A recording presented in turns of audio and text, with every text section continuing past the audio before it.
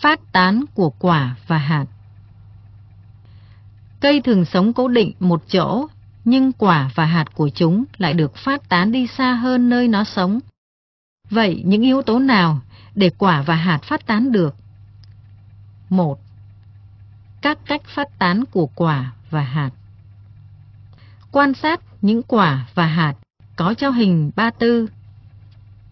Hình ba tư có các loại quả trò, quả cải, quả bồ công anh, quả ké đầu ngựa, quả chi chi, chim ăn hạt thông, quả đậu bắp, quả cây xấu hổ, quả châm bầu, hạt hoa sữa. Các em hãy nhận xét cách phát tán của mỗi loại quả, hạt đó, rồi đánh dấu vào bảng dưới đây. Các em kẻ một bảng, gồm có 3 cột, 11 hàng. Hàng thứ nhất, cột 1, số thứ tự. Cột 2, tên quả hoặc hạt.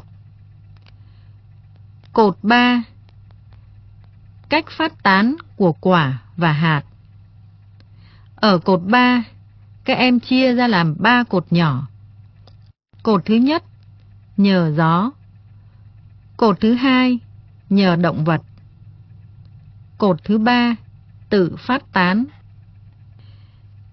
Hàng thứ hai, ba, bốn, vân vân cho đến hàng 11. Ở cột thứ nhất, các em ghi số thứ tự từ 1 đến 10.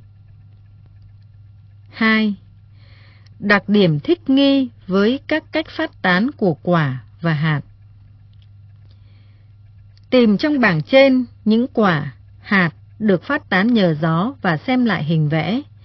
Cho biết những quả và hạt đó có những đặc điểm nào mà gió có thể giúp chúng phát tán đi xa. Tìm trong bảng những quả, hạt được phát tán nhờ động vật và xem lại hình vẽ, cho biết chúng có những đặc điểm nào phù hợp với cách phát tán nhờ động vật. Tìm trong bảng những quả, hạt có thể tự phát tán. Xem lại hình vẽ cho biết vỏ của những quả này khi chín thường có đặc điểm gì. Con người có giúp cho việc phát tán quả và hạt không? Bằng những cách nào? Qua bài học này, các em cần nắm vững. Quả và hạt có những đặc điểm thích nghi với nhiều cách phát tán khác nhau như phát tán nhờ gió, nhờ động vật và tự phát tán.